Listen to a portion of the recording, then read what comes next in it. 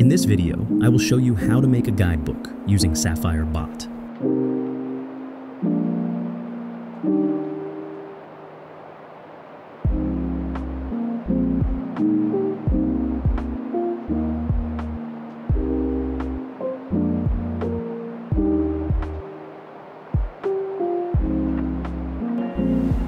Firstly, invite the Sapphire bot to use server. Once you've added the bot, make sure it has all the permissions to work properly.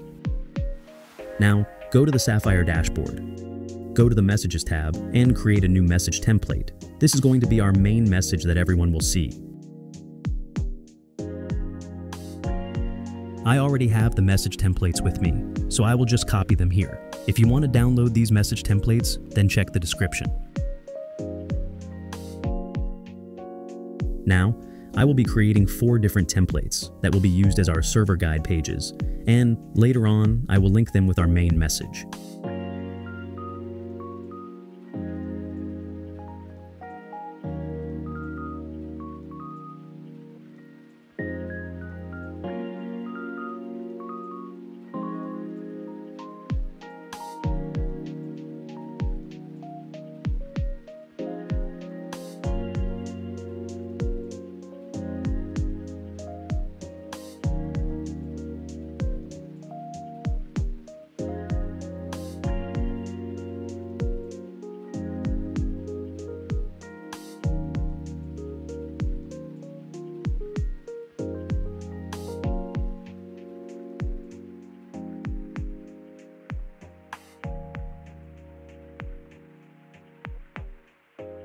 Now, let's make the buttons that will be used for our guidebook. Now, go to the components and head over to the buttons section. Right now, we have one main message and four different pages, so I will be making eight buttons. First button will be attached to our main message. On the next page, we will have the back button and the next button.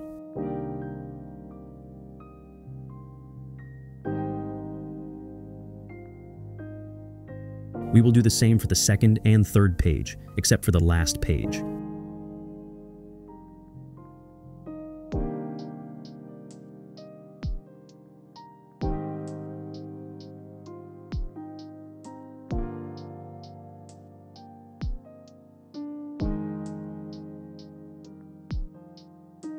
On the last page, we will close the message.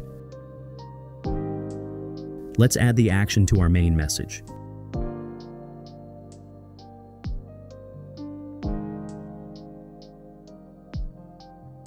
Choose the Send Message action, and then select the first page. So, whenever someone clicks on this button, they will open the first page. Make sure that the ephemeral option is toggled on. So, whenever someone clicks on this button, only they can see the message, not everyone else. Now for the Page 1 Back button, choose the action as Edit Message, and select the main message template.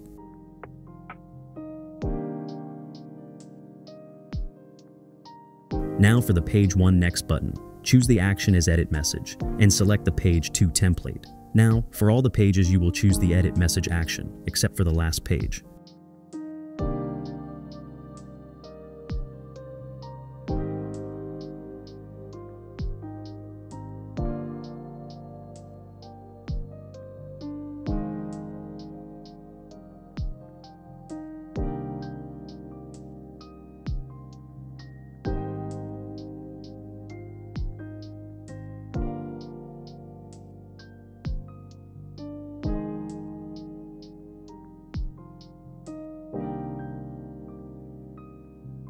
On the last page, we will close the message, so choose the Delete Message action.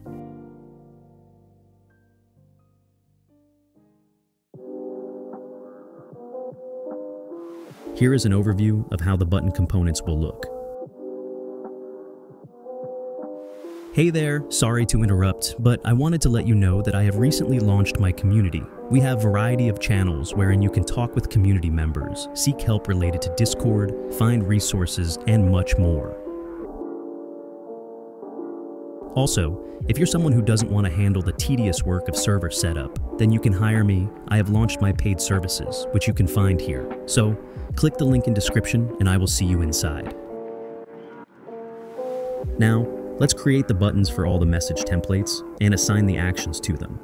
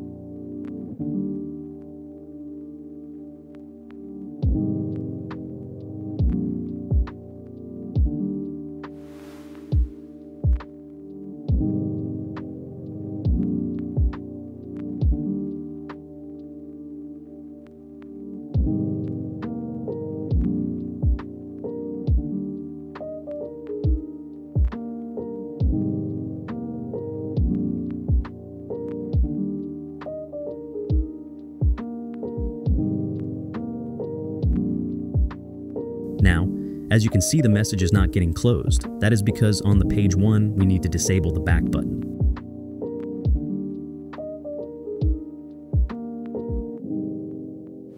To disable the back button, go to page 1 message template, edit, raw.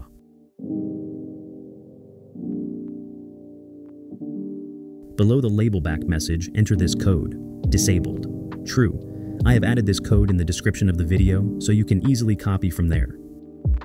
Click on the Save Changes, and let's see if it's working or not.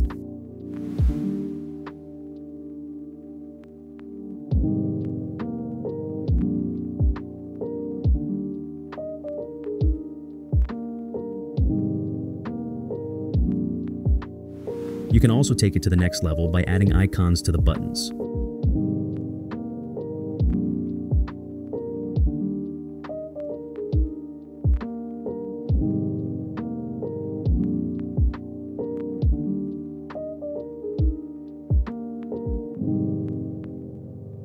Hour later.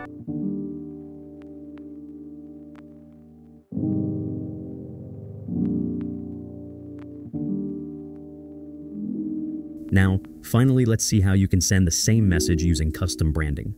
That includes your server icon and server name. Go to the Sapphire dashboard, click on the Send Command Message option. Enable the webhook option,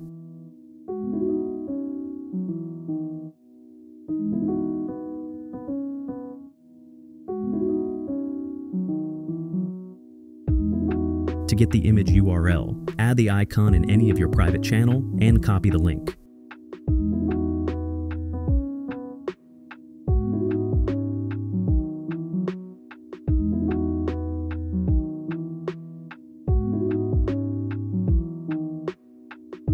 Then head to default messages and search for send message command.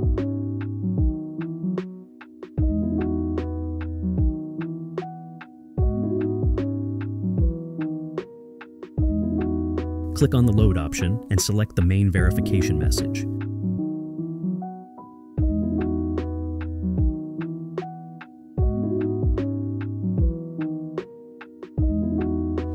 Now go to your server and run the command as exclamation send one.